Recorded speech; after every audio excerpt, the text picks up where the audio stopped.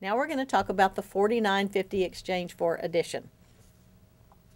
Remember the 4950 exchange is when you have the count of 49 set against the horizontal counting bar and you need to continue counting. So you exchange the count of 49 for the count of 50. So you clear out the 49 and set the 50 bead.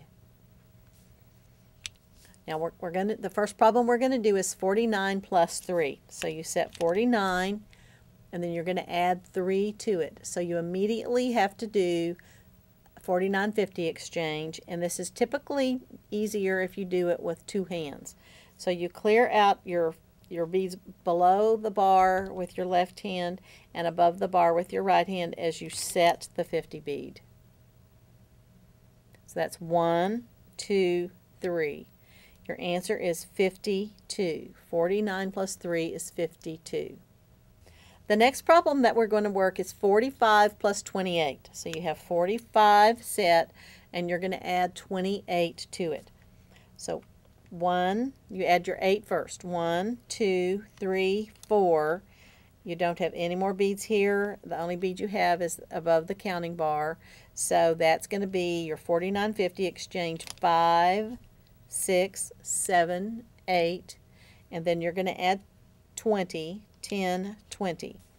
So your answer is 73. The next sample problem we're going to work is 481 plus 423. So we're going to set our 481 and we're going to add 423 to it. So first of all, you add your 3, 1, 2, 3. Then we're going to add 20. 10. And now we're going to do a 4950 exchange in these two columns on your abacus, in the hundreds column and the tens column. So that was 10 and then 20.